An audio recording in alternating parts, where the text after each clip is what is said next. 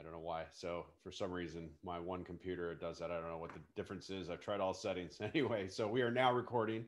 Um, so we're uh, going to pick up where we left off with social influence.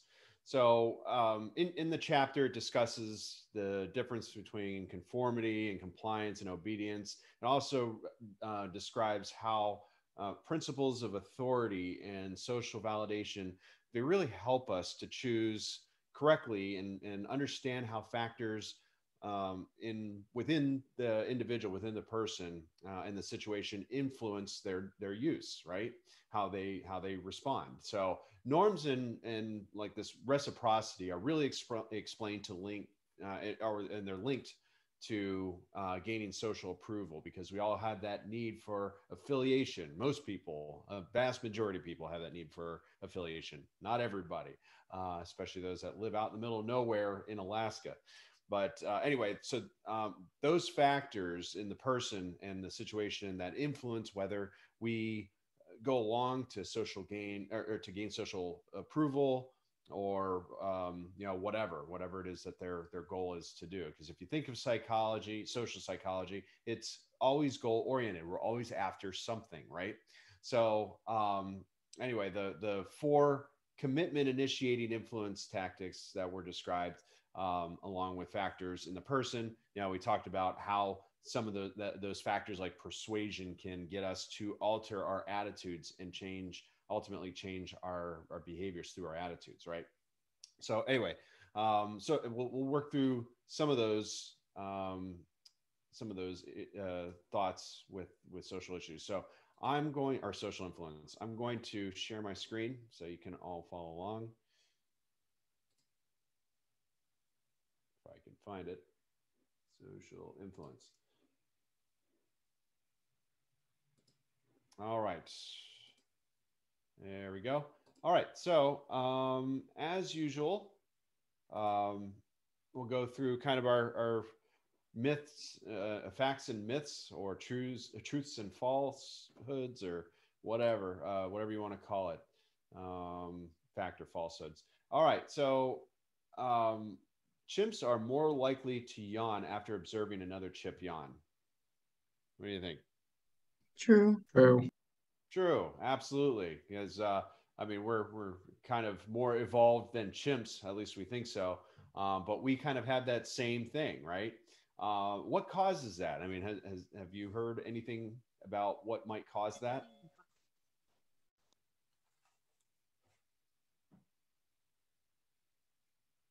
It's like when if, if someone yawns and then it's like uh you want to do the same. It's um what's the word? Um uh, uh, word?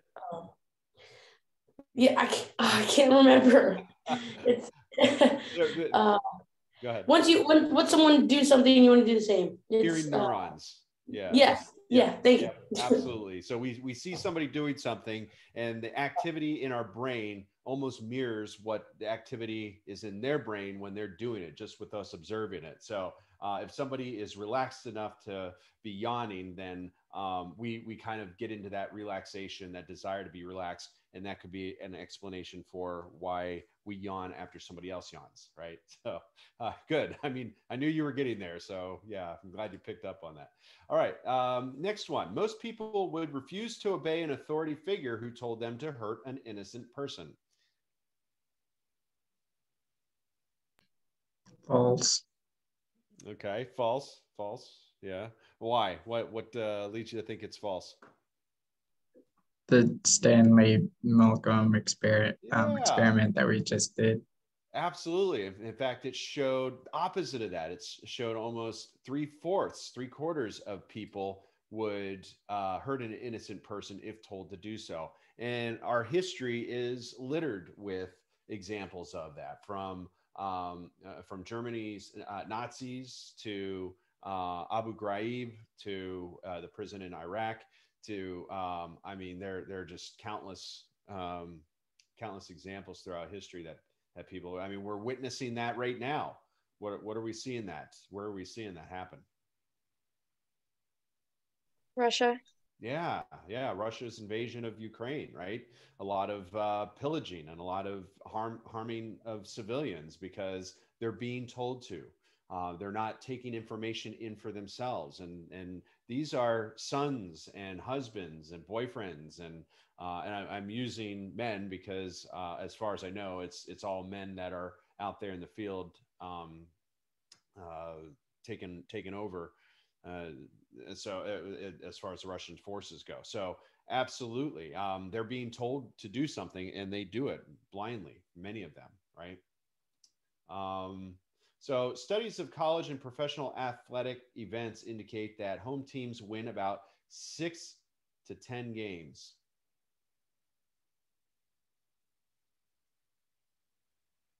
I actually don't know what that uh, might have been uh, yeah, it was a little confusing. Studies of college and professional athletic events and uh, win about six to 10 games. Um, yeah, not sure what that even alludes to, so we'll skip it.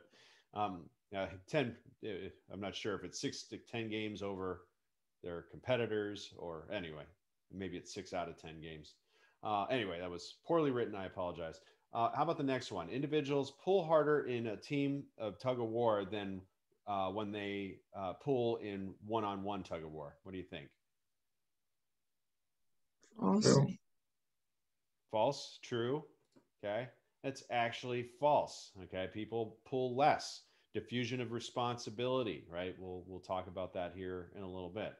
Uh, bystander effect. Right. We think that other people are going to be pulling the weight, but if somebody uh, has a perception that they're they're acting alone, they will uh, actually pull harder. Okay. Um, the higher the, the morale and harmony of a social group, the more likely uh, are its members to make a good decision. What do you think? True. True. Any other answers there?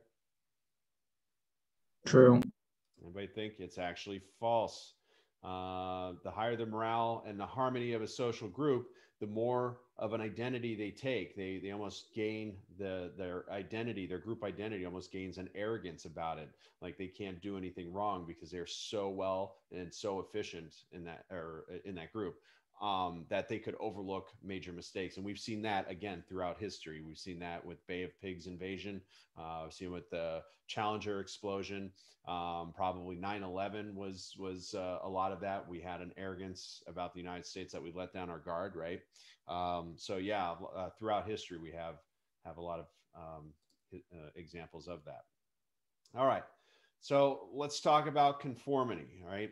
So back in the 1950s, Solomon Asch uh, did uh, performed an experiment that um, he called the line experiment, where he asked participants which line is equal to the standard line. So let's kind of go around the room. I mean, all of you hopefully can see this on your screen. What out of one, two, and three, what line on the left do you think matches the line on the right? What number? Two. Two. Right. Okay. Okay. Nobody thinks any differently? Two, yeah. Okay. Okay. So that would be the normal response for somebody. So what he did, uh, what Solomon Asch did was uh, he had seating. Uh, he had seating set up so that the Confederates would answer first. He had, I think it was, um, he had ten participants in the room all together, and he picked uh, not, the first nine of them were Confederates. They were people that he hired to uh, deceive, to answer a certain way. So he had all nine of the Confederates uh, answer first and had them answer incorrectly. So might may have had them answer three since it looks so close.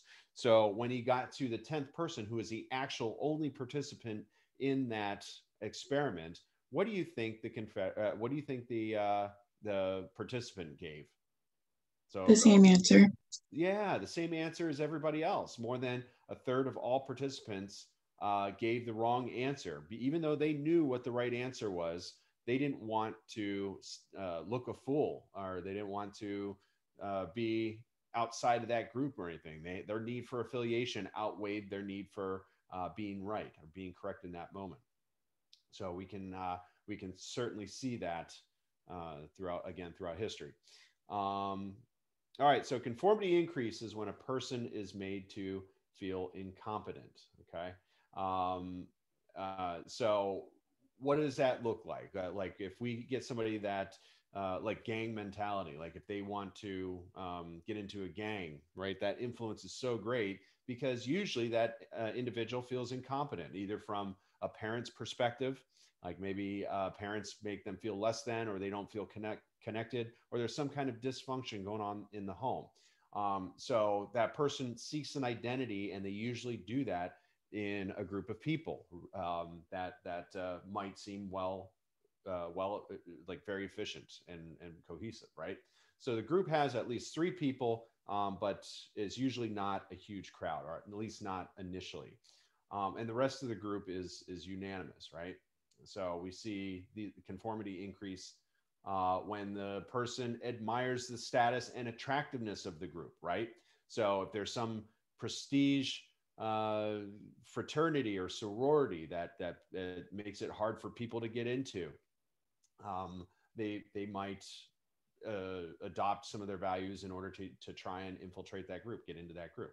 Uh, conformity also increases when the person has not made any prior commitment to any response, right? So they haven't uh, committed to one way or another um, but uh, again, that admiration is still there. So we're kind of seeing a mix of all of these things. Um, the more that they meet these criteria, the more likelihood conformity is going to increase. So we'll see it also increase when group members observe uh, the person's behavior, right? If, if uh, all the members are observing them and they're giving them kind of the go ahead or the green light, uh, they're going to conform, right? Um, person's culture encourages respect for social standards. Right? We see that in collectivist cultures. We, uh, we also see it in individualistic cultures, right? Because individualists have personal goals they want to meet.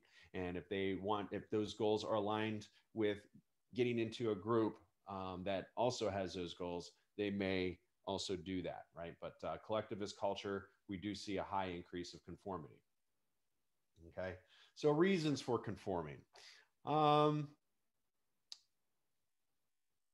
trying to think of, uh, yeah, let's. So, what I would like to do, just take a, a quick moment here and um, see. I don't have really enough to. So, let, let, let me uh, let, let me break you off to discuss a little bit actually, I don't know how I'm going to break you off on this. Um, what are some things in your life or things that you've observed that people conform blindly? They, they just conform because the group is doing it. What are some examples? Maybe we'll just have a group discussion with, with us instead of breaking off into groups. Like if the leader of the group is bullying someone, the people might follow along in the group.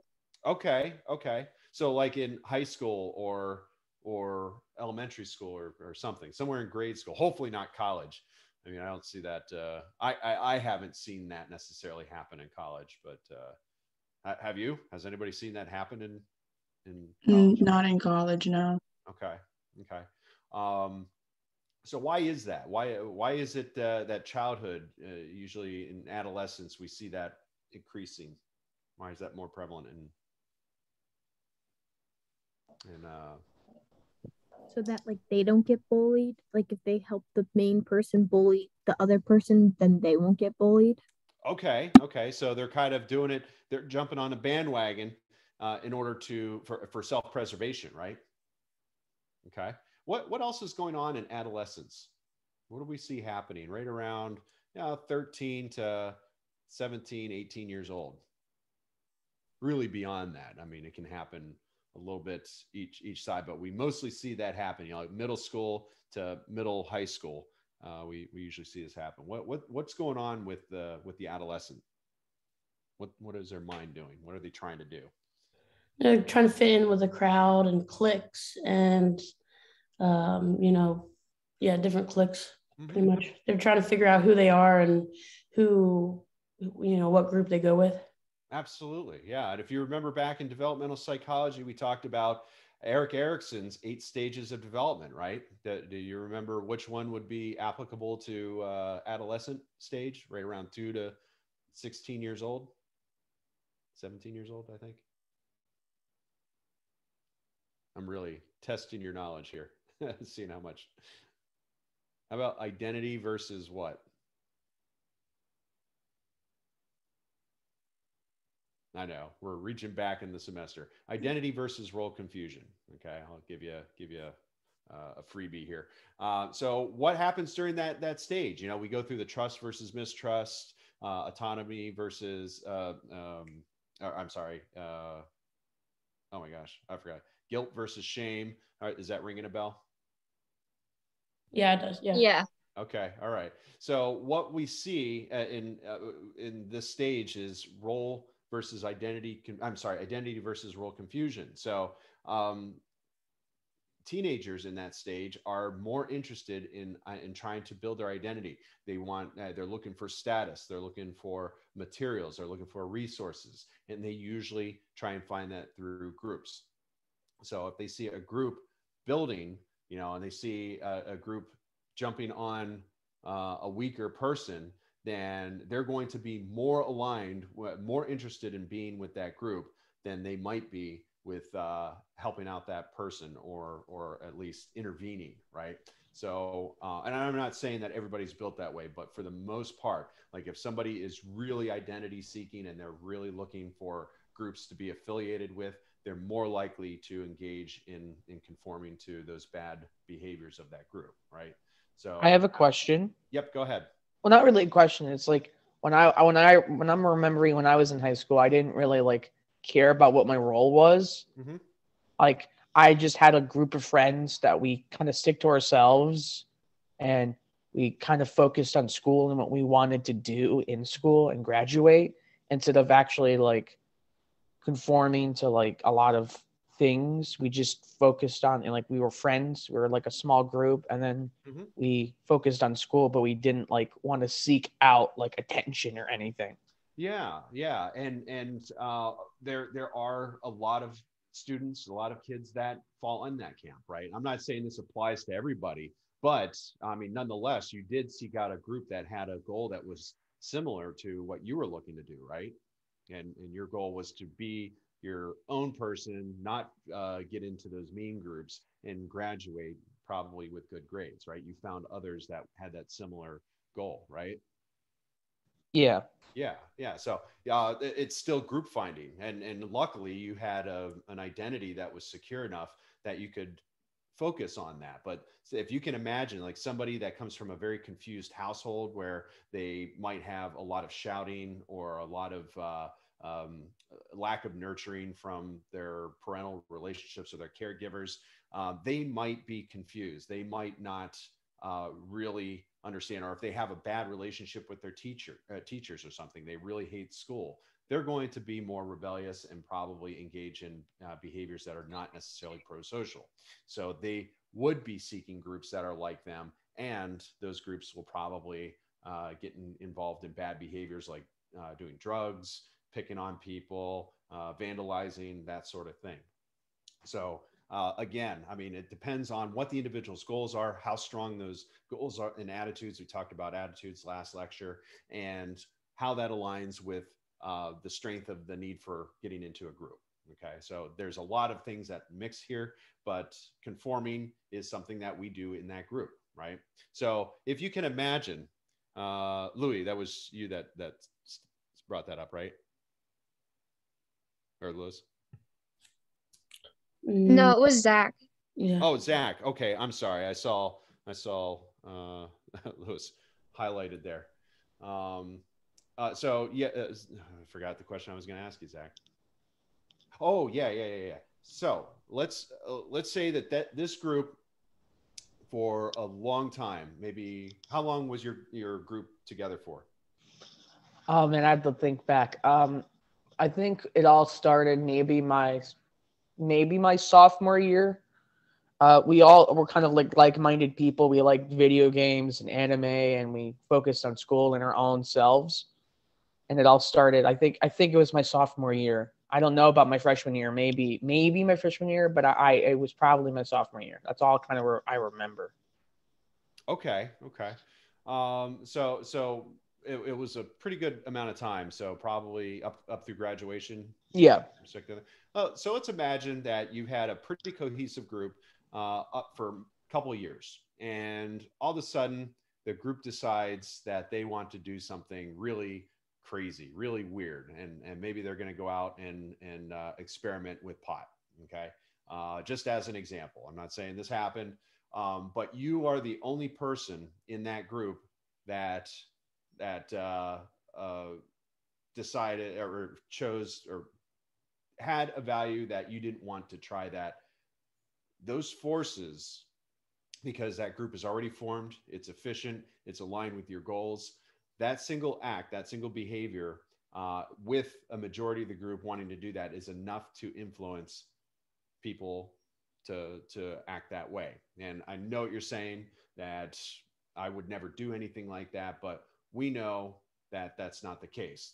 We've done that with research. We see that people that have strong values against not doing. So you're like saying that if a group is like there, mm-hmm. someone could conform to that group and and try it even though they might not want to right yeah exactly peer pressure right that's what we yeah peer pressure absolutely if you trust that group and you trust that you've spent that uh, a majority of those years trusting that that group is making good decisions and then they decide to do something that counteracts what that individual's values and attitudes are it's a high probability that that person will conform with that group okay not saying it's 100% of the time. And like I said, it doesn't mean that anybody was neglected or abused or anything as a child. It just means that we are people, we have a need for affiliation, and there's a good chance that we would conform with the group, even if it's against something that we want to do, especially if uh, that group is well established and, and we trust them, right? Uh, we can kind of see that happening in political parties right now, right? Uh, uh, I'm not going to go into too many examples on that, but all right. What what are some other examples of conforming? Uh, bullying was a great one. I think that was a, a wonderful one. How about uh, something a little bit more in the adult realm, maybe at work or at school or something like that? What what where does conformity, if somebody, a group or individual tells you to do something, you conform? Going to bars. If you you know you have a group of friends that like going to bars and maybe you haven't really been one been there, but your group is like tight and they're like, hey, let's go to a bar. Mm-hmm. Okay. Yeah. Maybe starting up behaviors like that, going to the bar. You know, going to the bar isn't necessarily a bad thing. Um, now, if somebody has addictive behaviors, that could turn out to be a bad thing uh, for that that individual. But absolutely, yeah. So, um, what are some? Uh, we talked about some of these already, so I might just uh, just give you some uh, buzzwords here to go along with it. So we have normative social influence, which is a desire to gain approval or avoid disapproval from the group, right? So we talked about that with uh, with the uh, really good study group that uh, you know they've been making good decisions for years, and all of a sudden the group as a whole decides to do something a little bit different. The uh, likelihood for that person, uh, that individual that goes against what their moral fibers are, might consider acting with the group, conforming with the group, because they don't want to be um, dis- they don't want a disapproval from the group. They don't want to be ousted or ostracized or, or anything like that. We as humans fear ostracization, ostraciz- ostra, oh my God, ostracization. Yes. Sorry, it's a big word. Um, uh, yeah, uh, being ostracized from from a group is is very terrifying for us because again, that need for affiliation, right? um, informational uh, social influences, right? Others' opinions and behaviors provide information about reality. We talked about QAnon uh, last last lecture and what their influence is. Just information in the absence of any kind of uh, real information, right? All right. We all learned about Stanley Milgram. We had a video that talked about it and it looked at obedience, right? Not only conformity, but obedience. Now, what's the difference between conformity and obedience? We talked, we said what conformity is. It's that social influence that causes us to do something. What is obedience? Think about the, the movie. Oh, actually, it's right here on the screen. compliance from a behavior in response to direct command from a person in, in authority. Person in authority. I think I talk for a living. Um, so who's in authority? Who do we who do we think is in authority over us? Parents, family, even like president, government. uh, Okay. Okay. Police Parents. officers. What's that? I would say maybe police officers in a Police officers, right? yeah. Absolutely. Um, what, what, wh- how did we learn about police? I mean, what is it about police officers that, uh, that we decide that we are going to be obedient, that we're going to listen to them? They enforce laws and rules that we're supposed to abide by. Okay. Okay. So, um, like, what gives us an indication that uh, that that that somebody's in authority? Like Their title or badge, maybe. Yeah, yeah. How about that? Somebody with a badge, somebody that's wearing a badge, uh, would give us uh, that indication that oh my gosh, you know, they they might be important. They might be a federal agent. They might be a local police officer. They might be state. You know, whatever. We see somebody with a badge, we are trained to think that that is somebody that deserves some kind of uh, respect or something because they're they're an authority. What about other types of authority? We said parents. Um, like if uh, yeah, uh, what are some what would be somebody else? Like if you saw and they talked to you and they told you something about you know it could be anything uh, you would likely believe them.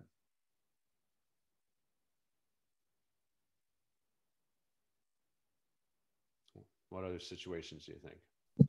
Like maybe like teachers or bosses. yeah yeah. What happened with the milgram experiment what what were the uh, researchers wearing Lab Like coats. lab coats. Yeah, they were wearing lab coats, which gave the impression that they knew what they were doing. They had lab coats and clipboards and, and, and glasses, thick glasses, right? So we stereotyped and said, well, that might be somebody that's important and intelligent, and and we listened to them, right?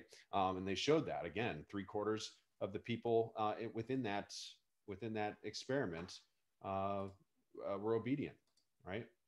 Um, so anyway, Stanley Milgram showed that somebody could be pressured to uh, commit an immoral act. Let's see here. I'm gonna play this video here for you.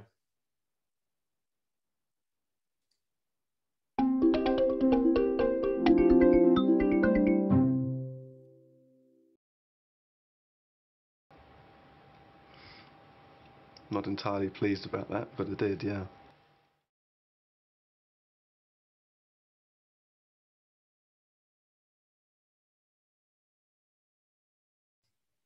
Sorry, I couldn't find my unmute button there. All right, so what what'd you think? Like I said, it, uh, it's nothing new. We watched the video. So what uh, what what did you pick out of, of that experiment? That was interesting. I I think it's it's insane how how these people trust somebody like that, like somebody that doesn't know anything about what 400 volts feel like, you know, that has no clue what electricity is like. Like for them to trust somebody that they're not killing somebody behind that room, them not realize that if something happens, it's their fault. It's not the whoever is behind you telling you it's an experiment. At the end of the day, it's gonna be whoever's giving the voltage. That's that's whose fault is gonna be. So it's crazy how we don't we don't think of those factors at the moment when they're Right. doing that. Right, and and we uh, defer really. We defer that responsibility to somebody else that's telling us to do that, right? Yeah. Um, because that that happens. Uh, we we saw that with uh, uh, Nazi Germany, right? Um, uh, I'm trying to look up the. Um, so that happened. I'm trying to remember. It was like back in the 2005, I believe. Um, there, there's a, a prison. I know this is probably uh, you, many of you were probably little kids at the time, but there was a prison uh, called Abu Ghraib um, out in in Iraq that uh, the U.S. Army had garrisoned and used to prison imprison um, Iraqi soldiers and, and terrorists. Right. So what was happening uh, over time? I mean, this this camp, this garrison had been available. I mean, it, it, had been in use for years, and they were finding that some of the prison guards there, some of the the soldiers, were treating the prisoners completely disrespectful. I mean, uh, uh, humiliating, just egregious. You know, just uh, uh to the point of almost rape and um, I'm not going to say pillaging, but uh, it, it, it, was demeaning. I mean, they were forcing them to do horrible things, inhumane acts, and embarrassing acts, um, because that was the culture for them to do that. They they were given kind of this lateral, uh, this this um, I guess wide berth to operate indiscriminately, however they wanted to, in order to treat the prisoners like prisoners and get them to give up information. So anyway, it wasn't realized, similar to what we saw in this in the Stanford prison experiment last last week or last lecture. Is we saw this uh, we saw this ideology that that formed. Everybody had their roles, and the prisoners were taking it. Yeah, they didn't have a choice in it. But these these guards, these um, you know, some of them were very well decorated and didn't really outwardly have a bad bone in their body seemingly that that's how people reported them anyway uh, but when they got into this situation they acted atrociously right so because they were able to, to diffuse that uh, they were able to de- default that responsibility to somebody else to the commander or whatever so anyway we can see that in um, most recent times that some of these forces still excuse me are still in play um, all right so how do we fix this? I mean, what what are some you know we we don't want to think of ourselves as being vulnerable to these social influences. We are, but how do we protect ourselves, or how do we advocate for others to not get into this situation? Have morals. Okay, okay. We all have morals. Some are stronger in others in some areas or others. You know, uh, like for example, um, some people might say that they have a strong moral uh, judgment against people that, that that agree that abortion is okay, right? Um, and some people have kind of more the capacity that it is okay to take a, a, a unborn fetus's life. And some people say, uh, I wouldn't do it, but I don't. I'm not going to mind if anybody else does that. We can see that spectrum of morals, of that morality just in one issue but yet you get to a different issue and they could and people that didn't have a strong stance on that might have a stronger stance in that area so it's really hard to gauge you know unless you know how a person stands on each in every individual issue it's really hard to gauge that to see um, maybe somebody that participated in this had a strong sense of morality and and didn't believe that somebody has the right to tell me to hurt somebody else. Maybe they've been through that experience before or somebody had that conversation with them. And now they're guarded. They since they went through that experience they know in their head that they're pretty well mentally prepared to handle a situation like that as is maybe hopefully many of you would be right? If you get into a situation where somebody asks you to harm somebody else just because that's what we do in this group right? Uh, hopefully this information will will help you. So that's one way is education letting people know that this force does exist and that this can cause people to do things that they wouldn't normally do. And hopefully that would be enough to um, help out with that so anyway uh, just some data here they, they saw a percentage of participants who obeyed the experimenter in milgram's follow-up experiments right so uh, some of the ones that they tried later showed that there really wasn't much of a difference, right? still a majority. Almost 70% of them were were um, administering up to a lethal dose, uh, 435 to 450 volts of electricity, right? Um, so, what kind of situations increase obedience? Similar to what we saw with with influence and, and conformity, right? So the person given the orders is close at hand and perceived to be the legitimate authority, right? So again, we can diffuse that uh, our responsibility to that authority. Um, that that figure authority is associated with prestigious institution. So, for example, um, uh, and, and, I'm not picking on institutions in any way, but what, what University of Phoenix, right? So if you had a professor at the University of Phoenix telling you to do something unethical, or the professor at uh, a distinguished professor at the University of Harvard, which one do you think is likely going to get more of an obedience, right?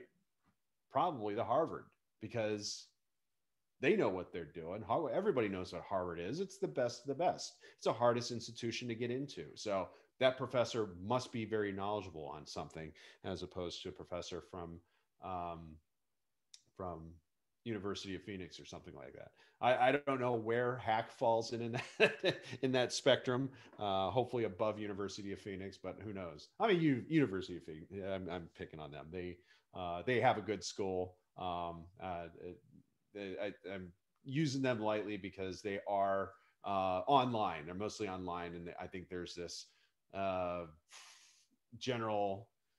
I don't want to say consensus. It's not really consensus, but um, kind of this impression that online universities aren't nearly as good as as uh, traditional brick and mortar schools. Which I don't know. I think I think that the data is still out on that. I think there's a lot of things, a lot of benefits to going to online universities uh, over brick and mortar, especially if you're a working individual, because not everybody has the luxury of taking off eight years to become a doctor, right?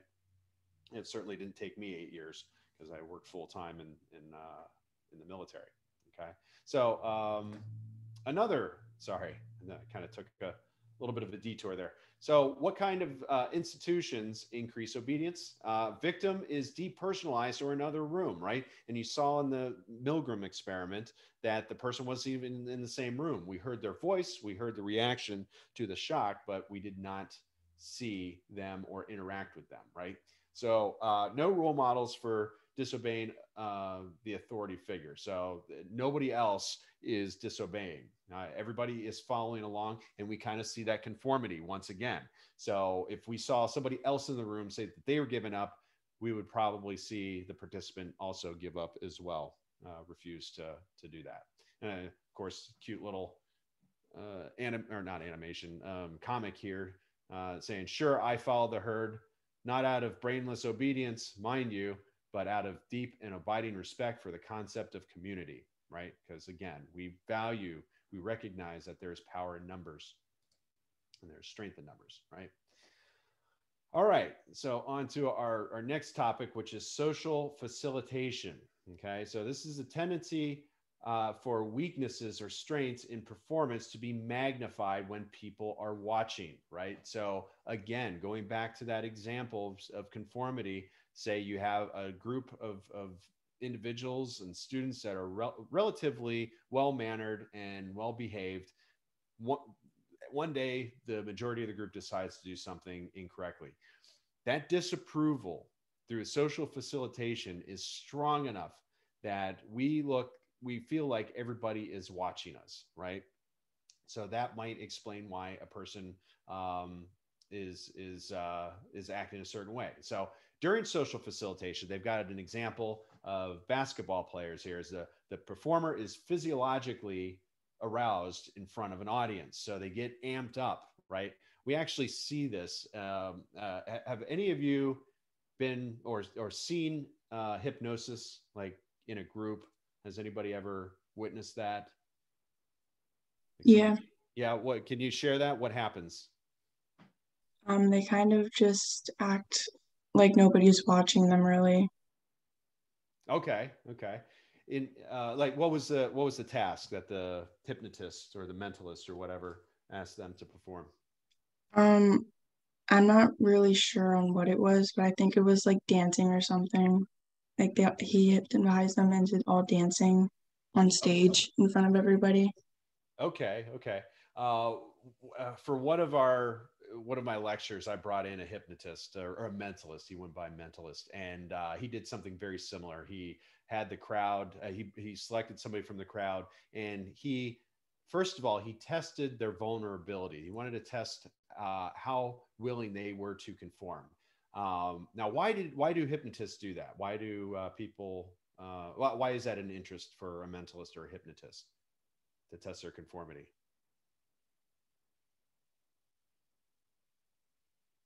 Their ability to conform. Why do you think that is? What would happen if somebody didn't believe that hypnotism worked, that was skeptical? What how do you think that would how do you think they would perform under hypnosis? It probably wouldn't work. It wouldn't work. It wouldn't work. I, we know it wouldn't work. Um, there's a 99% chance it would not work, right? Uh, unless that person was secretly thinking that hypnotism is cool for whatever reason. But a majority of the time, hypnotism would not work because that person uh, uh, is believing it. So, part of this, and one of the theories that we use why hypnotism works and people act a fool up on stage in front of a large group of people is because they're physiologically aroused in front of that audience. They are the center stage um, and they feel like they have to perform a certain way. So, if if they're a, in a suggestible state, uh, and they are likely to conform to group standards and norms and they're put on a under a spotlight. They will do just about anything you want them to do. Like I, like dance like ariana grande or something like that right? So um, that's uh, one of the ideas be- uh, behind social facilitation is once we have um, once we are in that spotlight we we act a certain way so the performer's most likely to uh, response is is uh, strengthened um, and better performance if a performer is skilled at a task, is easy, and especially in front of a friendly audience, home field advantage. Right. That I think that's what they meant to say is um, six out of ten uh, games would have been won if you remember our initial question. So uh, if they're if they're in front of their audience that is supportive of them, they're likely to to to do well. Um, probably all don't remember what year was that. I think it was 2014 Super Bowl. Does anybody remember that? Uh, it was the Seahawks versus versus. Uh, actually, that might be a bad example, but versus the Broncos. Any NFL fans out there? Anybody remember that game? I think I do. I don't really remember it that well, but I'm I think NFL I've fan, but I don't I don't remember the game at all. Okay, okay. I heard about it. I think. Yeah, yeah. It was uh, um, not Eli Manning, Peyton Manning when he was quarterback. So they made it to the Super Bowl. Seahawks versus the uh, the uh, Broncos, Denver Broncos, and there was just so much energy in that stadium that everybody was cheering and and loud and in favor. I think they were in favor of the Seahawks. Um, that uh, Peyton Manning just was not able to perform. In fact, he was very, very rattled. Uh, it was a complete shutout. I can't remember the score. I think it was like in the 30s to zero or something for and for a Super Bowl game. That's just unheard of. So anyway, um, that's an example of it, it, you know the Seahawks were probably emboldened by that energy, and then of course Denver, um, they felt like they they had the forces against them, right? And again, uh, poor performances. Uh, if the performer is uh, poor or task is is harder than usual. Okay. Hmm, excuse me. So uh, let's talk about social loafing. Um, social loafing happens when, again, we have that diffusion of responsibility. Uh, less effort is exerted by individuals in a group, especially when the individual contributions are hard or separate from the whole. Right. So, how many of you have been in groups in high school or even college, like doing group work? like you're you're put into class groups how does that go usually has anybody had a good experience with with uh like group projects Either I will have to do all the work or someone in the group will help me. okay okay so but you usually have somebody in there that doesn't do anything or does very little Yeah, most likely. Oh my Yeah. god, yes. yeah right uh trust me i've been i actually i think i, uh, I hate to say this i probably was the social loafer um so uh i i did i oftentimes did my part but uh i'll, I'll be honest i I, oftentimes i if somebody was willing to do the work i was usually letting them do it um you know uh anyway so i i know how they go and i'm i'm really on this quest to figure out a way to improve uh, groups so that social loaf, loafing is less likely to occur. Um, so anyway, it's it happens when when somebody thinks that somebody else is doing all the work and they don't do that. And that was that tug of war question that we asked earlier on is when is somebody's strength greatest? Is it when they are in a group of people or when they're in um, in a small uh, by themselves, right? And the answer is by themselves. Um, so people in the group, uh, they feel less accountable for their actions. So they're less likely to really get out in front and do anything, right? They're they're going to, uh, especially if the task is difficult, they're going to just kind of take the easy route. And people in a group worry less about what others think, right? So if they're not judged in any way, then they're less likely to uh, perform. Um, and also, people in the group may uh, view their contributions as dispensable. So, which means that they're, they, the people in the group don't find it as important.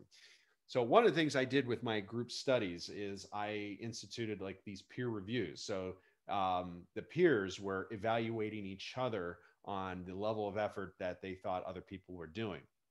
And what I saw was a significant improvement than if I were grading that person based on their contributions because I was so far distance. I didn't have a daily interaction with them. So social loafing was likely to occur in those groups where they thought I was just holding them accountable. But when they thought that their peers were holding them accountable, I saw an uptick in their, their performance.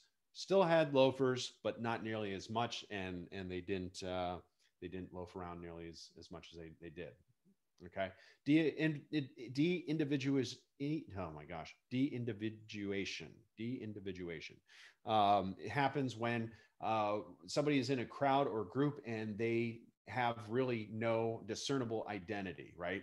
They're, uh, they experience a diminished sense of self consciousness, which means that they are no longer a person or they're no longer dealing with a person.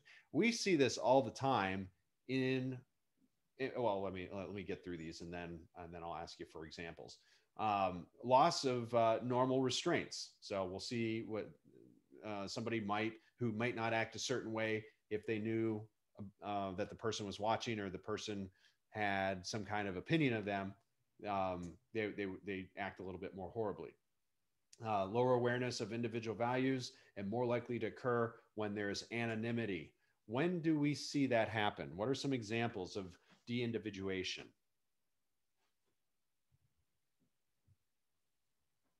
What do you think? If somebody doesn't feel like the other person is actually a person, they just view them as like an actor or uh, somebody that's uh, just behaving a certain way. They don't actually look at them as a human individual with humanistic qualities.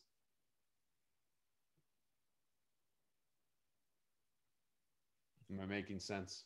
Maybe in a like a prison setting. I don't know. Good. Yeah, absolutely. Prison setting. Uh, we saw that with Stanley Milgrams, right? Uh, the, the student, there was a student and there was a teacher. They may not have known each other's names, but there was no person behind that that wall. They were de-individualizing.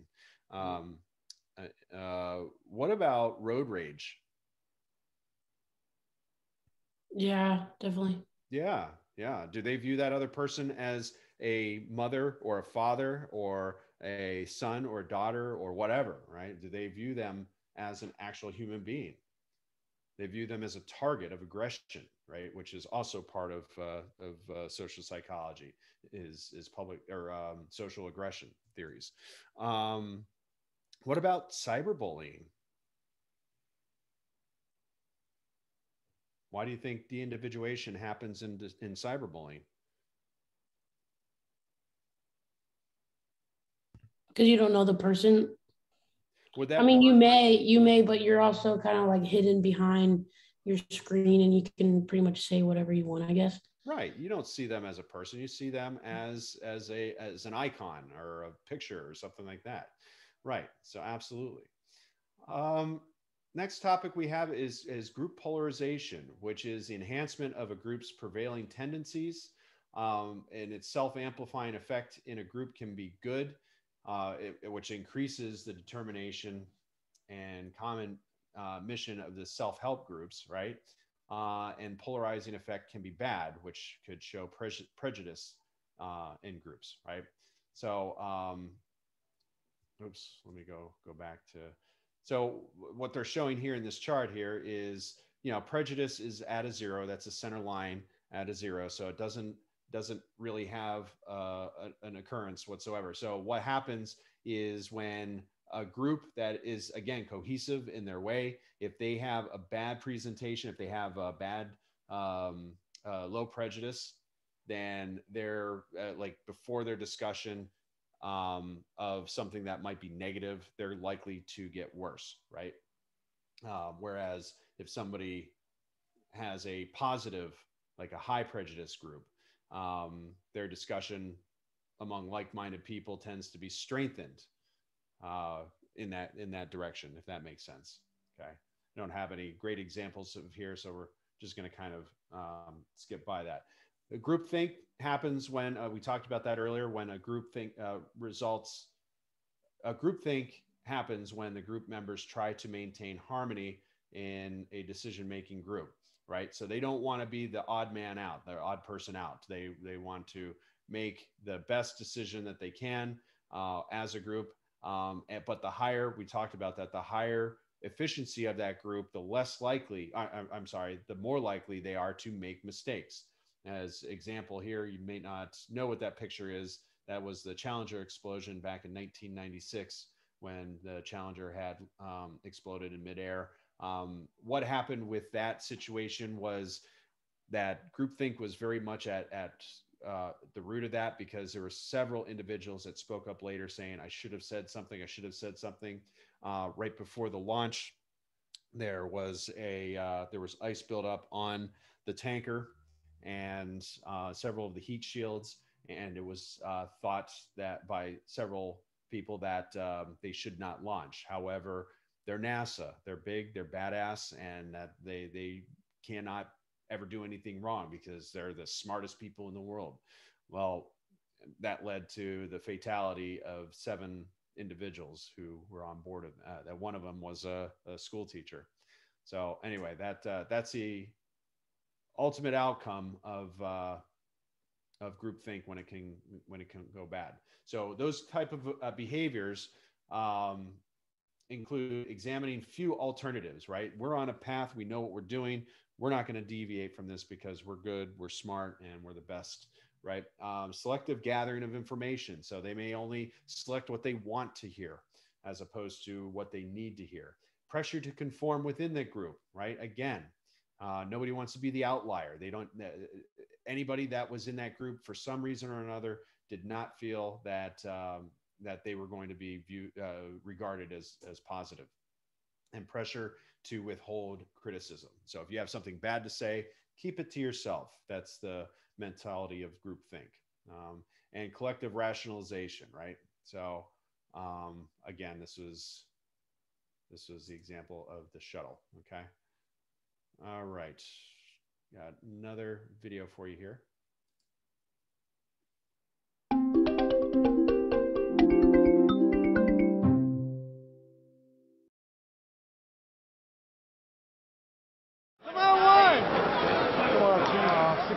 $16 voucher. Open them up!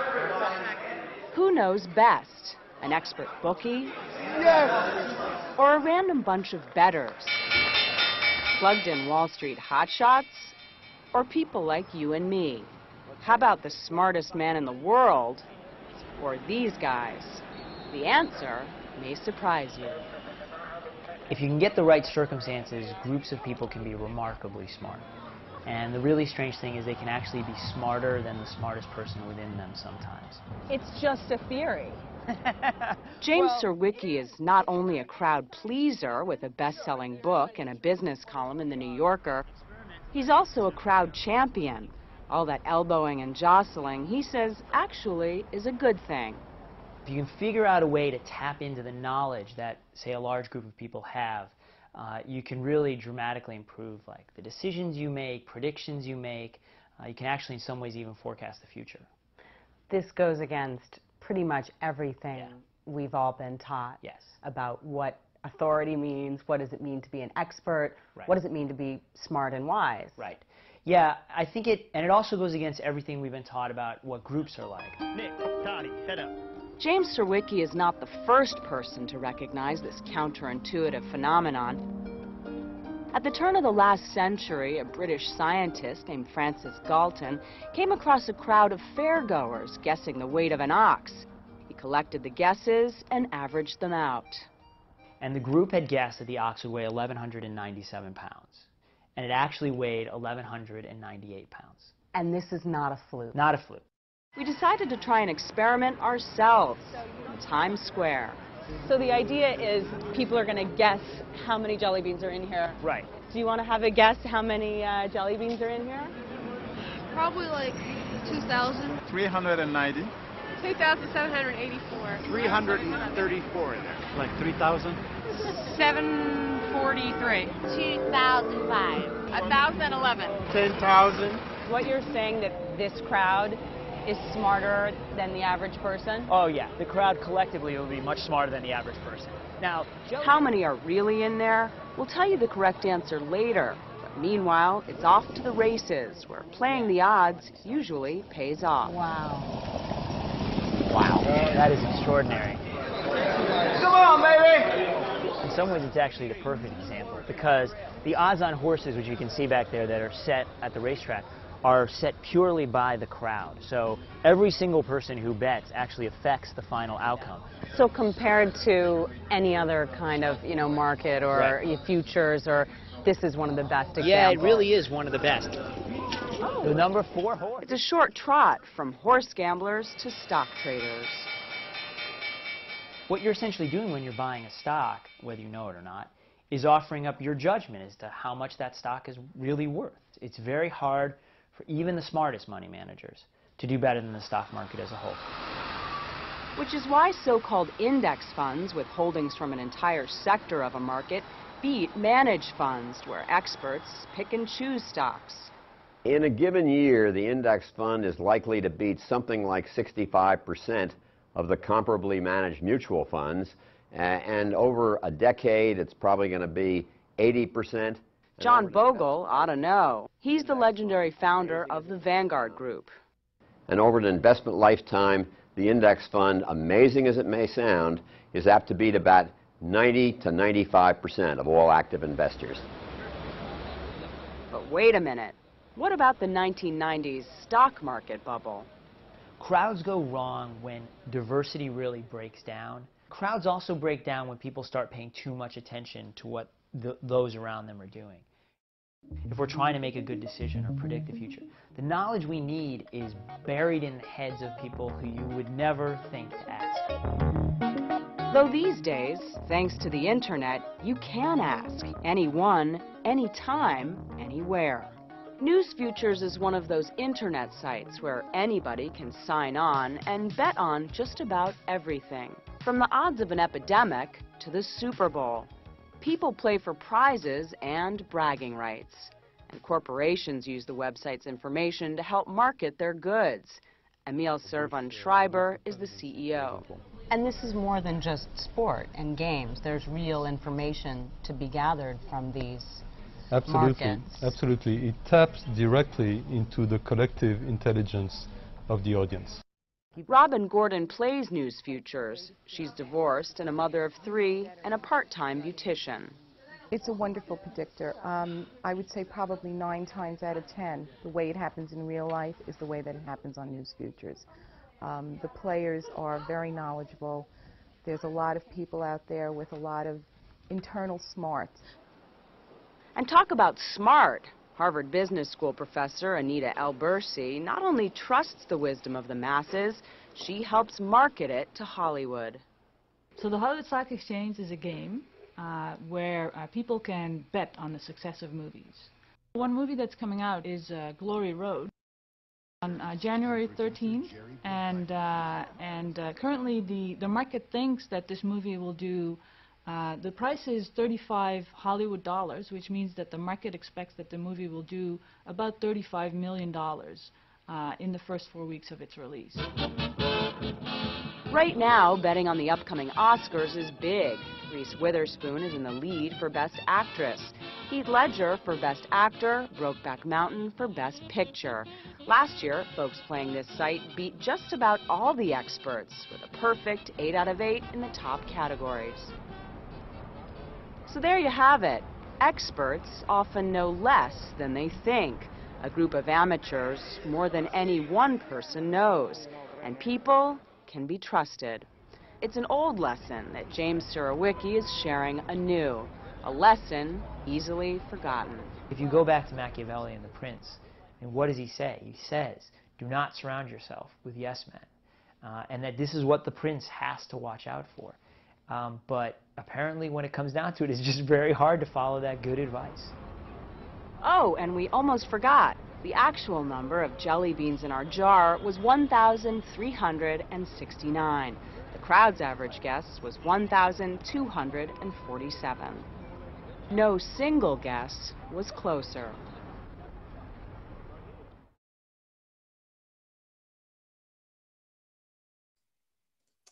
All right. So what what uh, what were some of the takeaways you had from that?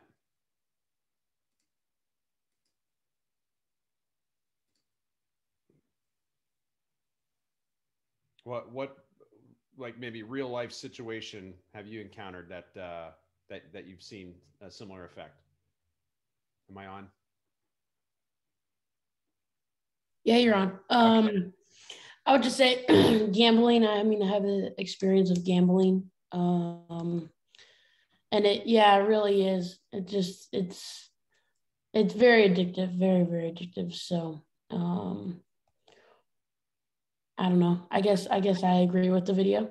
okay. Okay. Yeah. Uh, so, especially the horse racing. So, what the the message yeah. there was that uh, um, individual experts, you know, uh, or or small groups of experts may not be as knowledgeable because um, you know for the most part we call that street smarts. We got a lot of people that are out there that uh, have real world experience and they see trends. And as a group of of uh, non-experts we can see a general proximity to um, good decision making or or creative problem solving or something like that as opposed to individual or small groups of experts right? So uh, and, and we're kind of encountering that now you know, we brought up QAnon before and the conspiracy theories and, um, you know, who are they not listening to? So we kind of, we've kind of seen a whirlwind, a very similar situation where people believe that, that, that there is wisdom in groups. Um, and on top of that, there's almost this defiance that we don't trust that the people are making decisions, right? So, in a lack of information or a lack of believable information for people, they tend to go with the shortest answer right? So they're going with the wisdom of groups, which is actually not serving them well. Okay, they're they're going with information that is incorrect, that is unverified, and has no scientific backing whatsoever. So we can kind of see that on both spectrums. We can see where it can be a good thing, maybe make it a wager with a horse, or maybe uh, uh, or, or uh, but uh, not listening to stocks. Uh, I'm sorry, multitasking here myself. Uh, so anyway, uh, the bad, the downside to that is um, people, if they mistrust their authorities or mistrust the the experts, then we can see the likelihood of making faulty decisions based on bad information from from uh, larger groups. All right. Uh, any questions? Anybody have any questions for me? All right. Well, if I don't think so. What's that? Go ahead. No, I'm just saying I don't think so. I had a question.